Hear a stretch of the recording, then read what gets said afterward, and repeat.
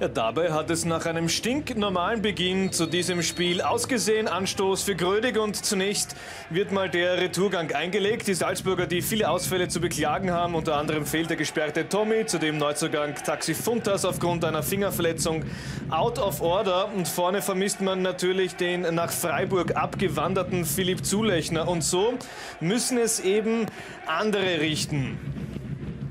Zunächst der kurzfristige Ballgewinn der Wolfsberger, dann schaltet Mark am schnellsten, der lange Ball, der Fehler von Dobnik und dann toll gemacht von Stefan Nutz an seinem 22. Geburtstag bringt er die Grödiger nach nur 33 Sekunden in Führung.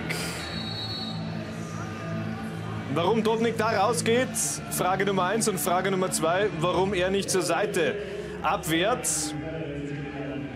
Das beantwortet dann Stefan Nutz auf seine Art und Weise bereits sein viertes Tor aus der Distanz. Bestwert in der Liga, insgesamt sein sechster Saisontreffer. Was für ein Auftakt für die Grödiger und beinahe fast postwendend.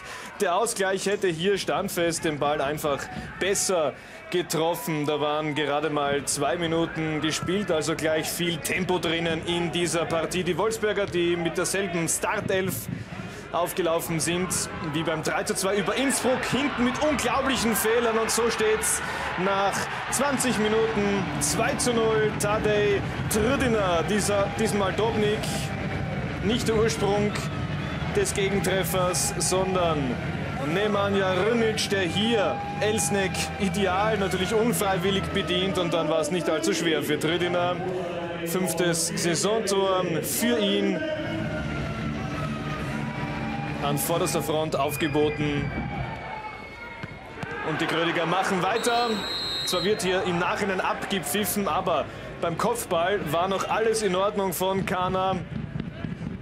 Danach das Foul von Trüdiner und diesmal gute Abwehr von äh, Christian Dobnik. Dann nähern wir uns schon dem Ende der ersten Hälfte. Ja, und so sieht's aus, wie der WRC hier gespielt hat in der Vorwärtsbewegung bitter für Kübauer. Schwacher Auftritt seiner Mannschaft. 2-0 für Grödig zur Pause. Auch weil Christian Dobnik gleich in der ersten Minute eine folgenschwere Entscheidung getroffen hat. Hinein in die zweite Hälfte und die beginnt eigentlich sehr gut für die Wolfsberger. Endlich wird konsequent nach vorne gespielt. Bald auf. Hätte er viel mehr draus machen müssen. 48 letztlich kein Problem für Zizan Stankovic. Aber die Kärntner endlich mit dem erwartenden Offensivspiel, mit guten Aktionen, aber ohne Abschluss. Gotthal reklamiert Handspiel. War aber kein zu pfeifendes Handspiel, also kein Elfmeter, richtig gesehen aus meiner Sicht von Schiedsrichter Harald Lechner. Dann wechseln wir wieder auf die andere Seite, knappe Stunde absolviert, Nutz mit Ecke und dann Matthias Mark beinahe mit seinem ersten Bundesligator. Wollte da fast ausweichen, hatte man den Eindruck, knapp an der Entscheidung vorbeigezielt. Nur eine Minute später der überragende Stefan Nutz. Riesentat von Dobnik. Elf Minuten noch zu spielen.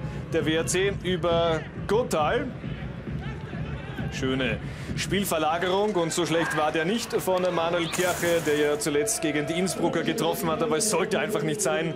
An diesem Tag für das Team von Didi Kübauer, die Grödiger schreiten einem weiteren Heimsieg entgegen. Wieder Nutz und dann Marco Berchtold mit dem 3 zu 0.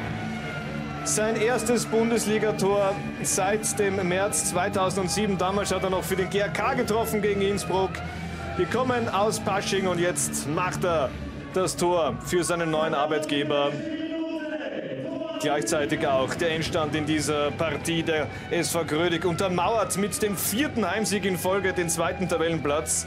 Sensationell die Ausbeute für einen Aufsteiger. 38 Punkte nach 23 Runden. So gut war seit der Einführung der, Drei-Punkte-Regel noch kein Aufsteiger.